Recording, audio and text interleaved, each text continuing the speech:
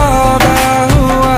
चांदनी रात में ओ तेरी नज़रों ने कुछ ऐसा जा